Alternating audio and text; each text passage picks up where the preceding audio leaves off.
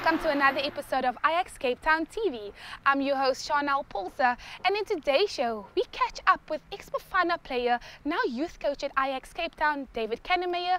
We catch up with our recently signed first team players, Jürgen Sazman and Ziyad Xteen, and we also catch up with our youth team manager, Alton.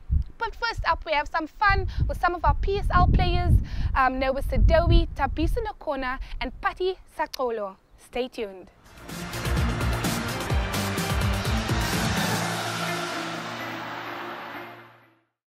Hi, my name is Clifford Mlenga and welcome to Ajax TV.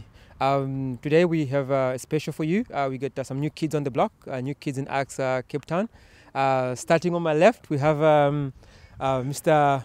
Thabiso Nkoana from Supersport United, now with Ajax. How, how are you, sir? I'm good, and you?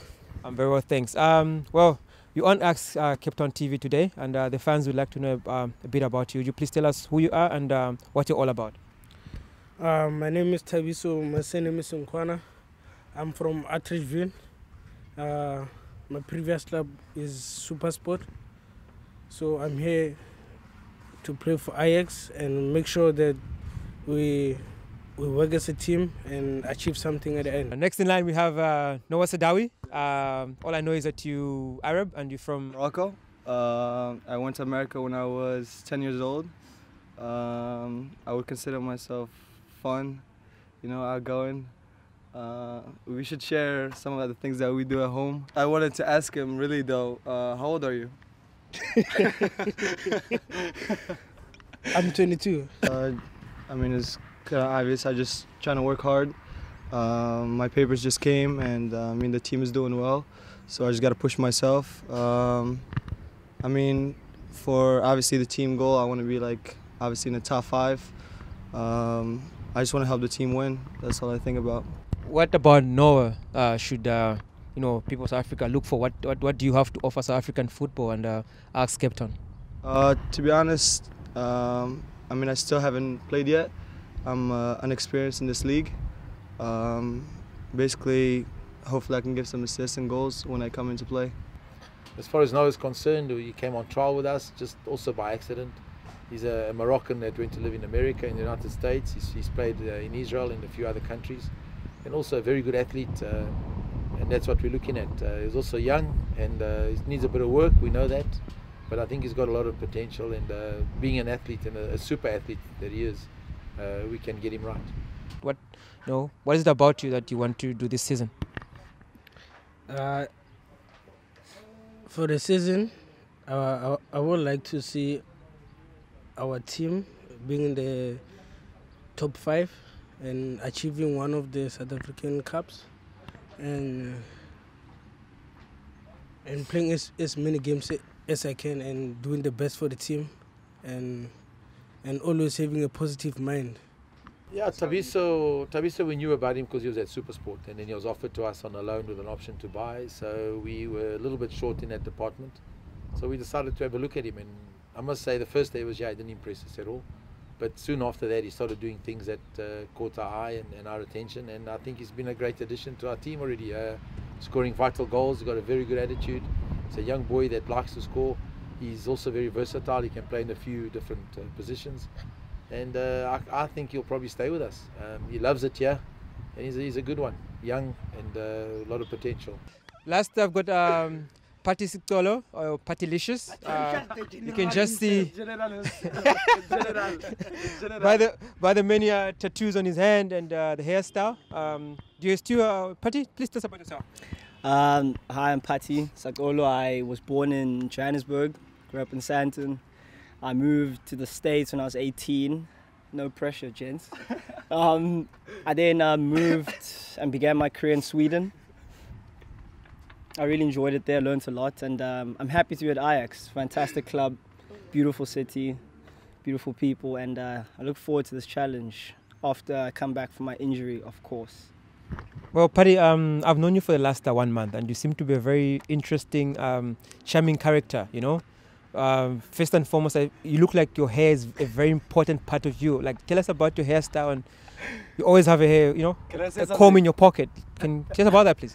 Well, I mean, look, we're all different. Um, I had options. I didn't want it short, so I wasn't gonna braid it because that's been done before. So I thought I'd do something that no one's done. Obviously, as a black guy. I used to do that 10 years ago. So Okay, so Cliff's done it. I'm gonna have to shave it off sometime in the near future because Cliff's done it already. Well, I just turned 23. Ambitions wise, my goal is to always win the next game. I don't think too far ahead about league championships, cups, all that.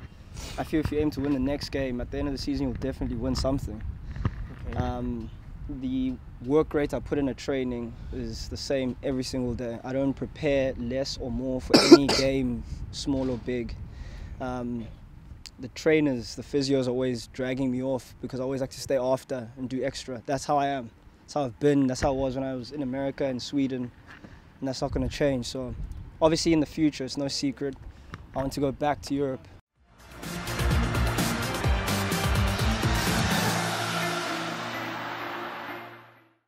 Welcome back. We caught up with Alton, who is the kit manager for the youth teams at Ajax Cape Town. Let's go have a look at what he does.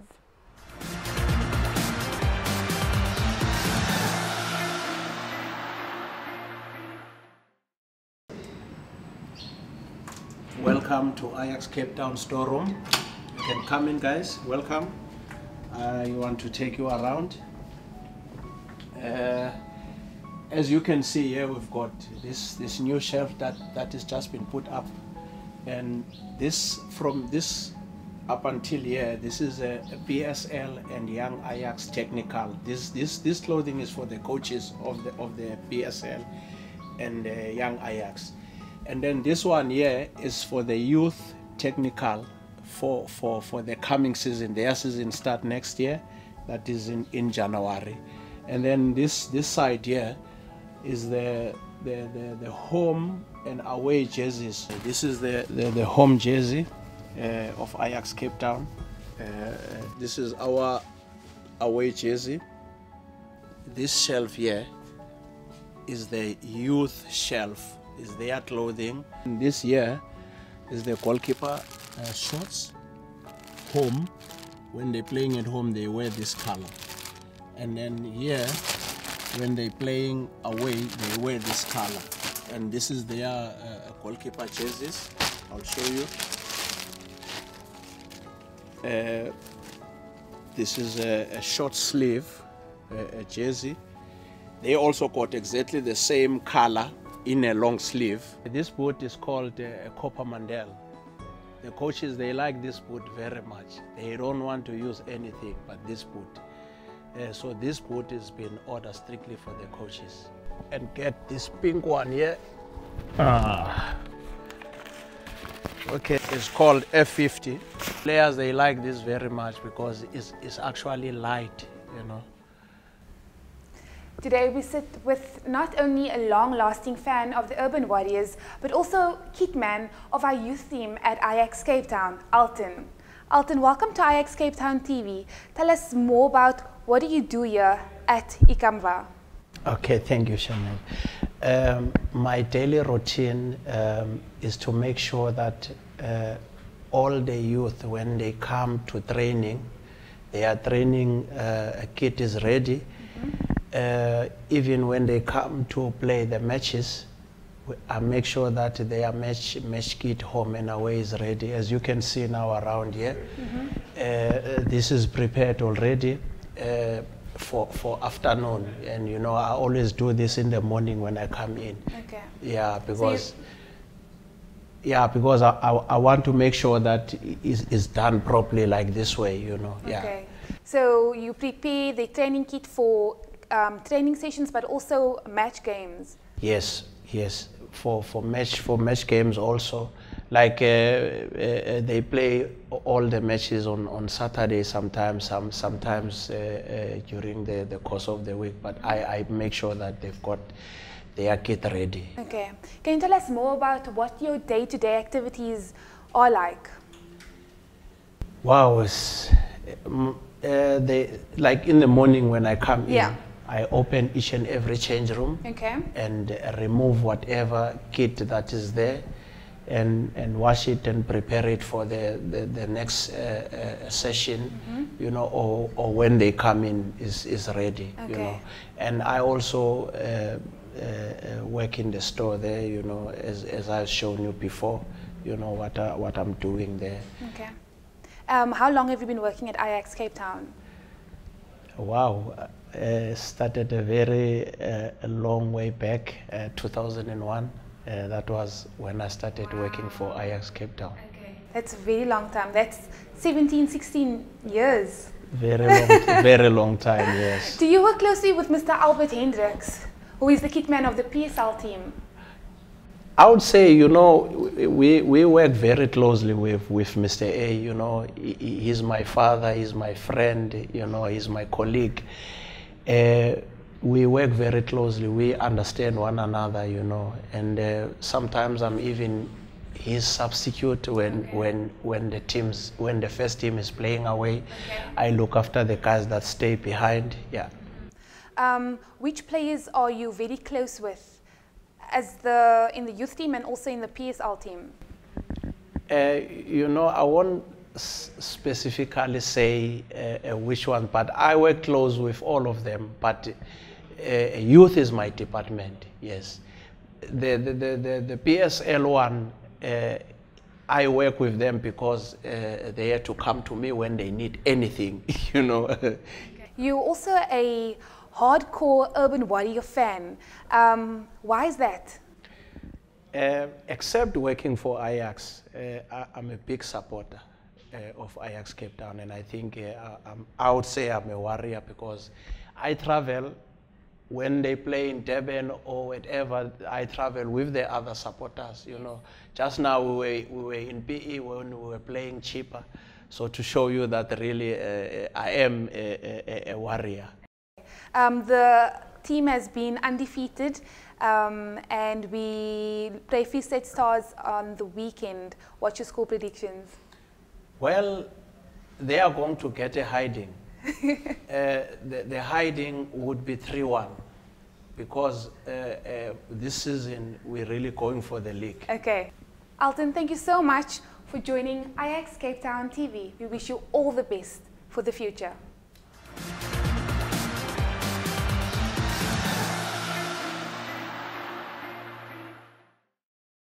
Next up, we get to chat to Corne Groenendijk, who is the head of youth development at Ajax Cape Town, and he shares with us a little bit more about how these youth players juggle passing exams at school and playing top flight football. Let's hear what he has to say.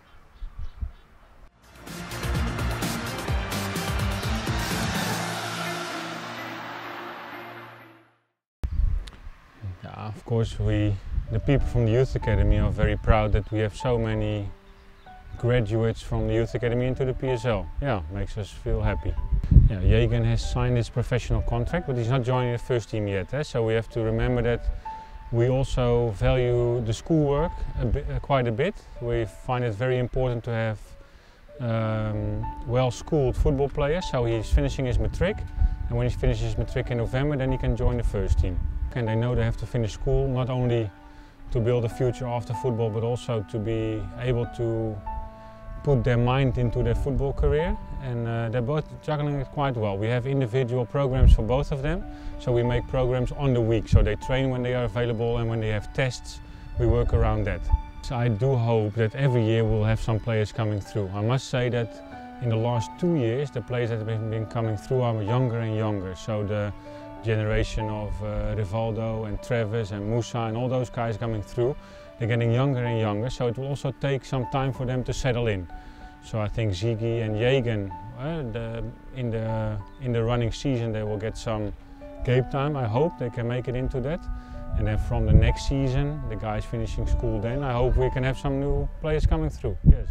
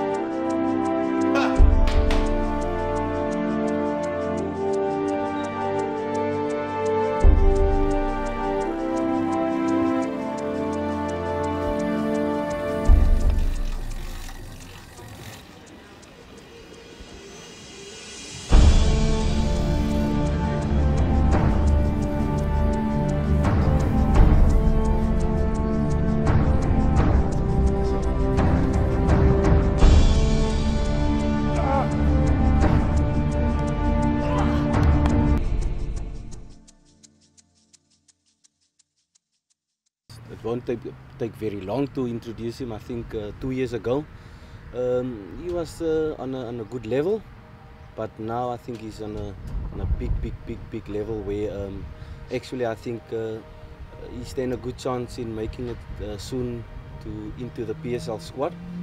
Uh, hopefully he'll get his chance uh, to play in the first team soon, and I'm sure that one day he'll make it big time in Europe. I think over the past two years he taught me a lot because he's also a left back himself.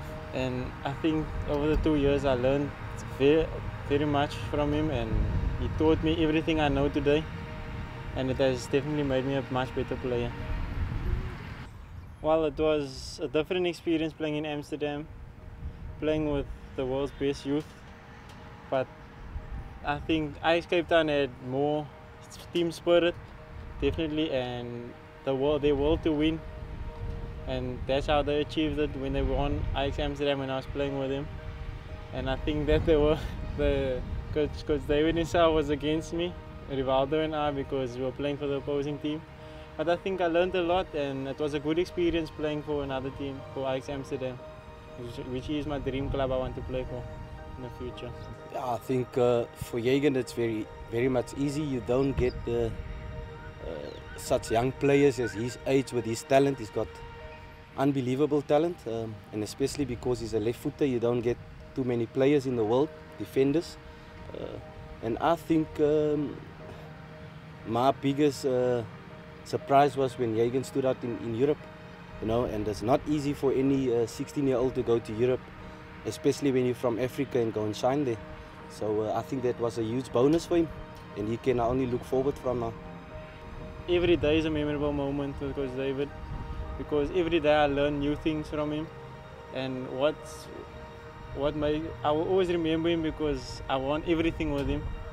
And through his experience he taught me everything I know about football and outside football attitude wise also. So actually every day is a memorable moment for me and I value every day I think I just we just spoke briefly about it now. I think uh, if he puts his mark uh, within our, our PSL team, uh, the quicker he plays there, I think uh, within the next year or so he should he should be playing in the in Bafana national team, um, which I think is, is is is big enough. His professionalism is also on the field and off the field is very it's unique. You don't seldom find it with Cape Townian players. Um, so I think soon he should be in the national team. I think there really isn't pressure on me. It's just that it's my ambition to become to become a professional footballer, to make it to the top into Europe, and to expose myself. So I think that my coaches, my family, I think they are just there to support me, and their support is definitely making my ambition come true and my dreams come true. That so I know like my goals in life, and I know that I will achieve them if they help me especially Coach David? Most of all, uh, for, for a young player, um, you must, you must ded be dedicated, uh, enjoy the football, and uh, most of all, um, be yourself. Yeah.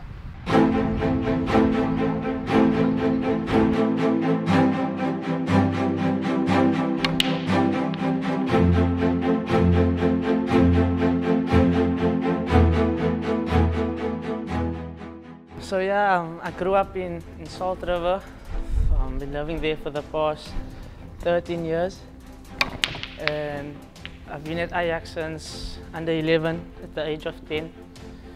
So yeah, I'm in the first team now, um, trying to work my way into the, into the team.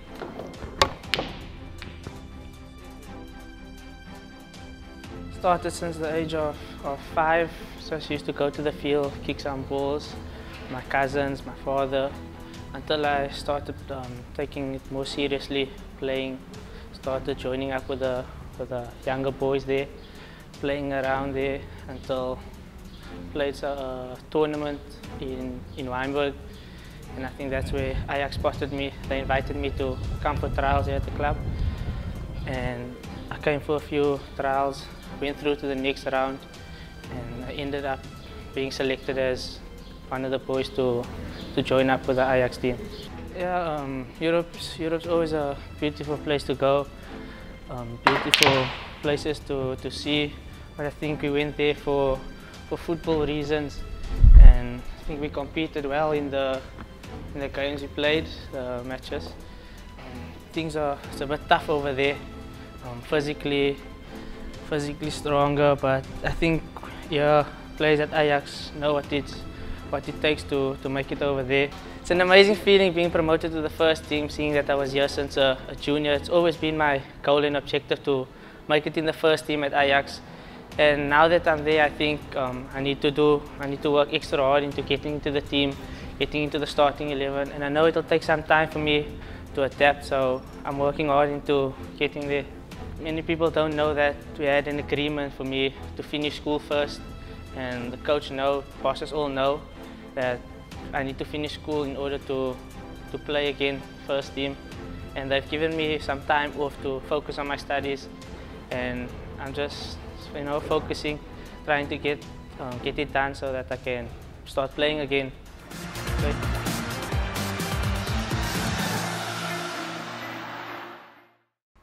And that's a wrap for another episode of Ajax Cape Town TV.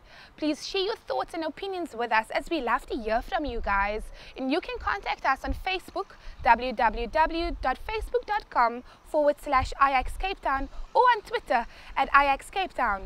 Please don't forget to get behind our boys as they face Free State Stars this upcoming weekend at Athlone Stadium. Get yourselves prepared by purchasing tickets at CompuTicket and even your Ajax gear at the Comfort Fan Store in Paddo.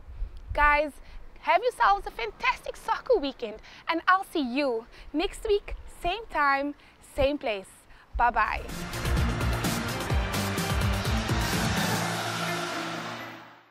Thank you, Alje Schut, for your nomination of the ALS Ice Bucket Challenge. Everybody has to do it, so I will do it as well. Um, with the Table Mountain, one of the seven world wonders in the back, I hope this works wonders for the ALS uh, donations. Everybody hopefully donates millions and uh, kicks out this terrible disease. Go ahead.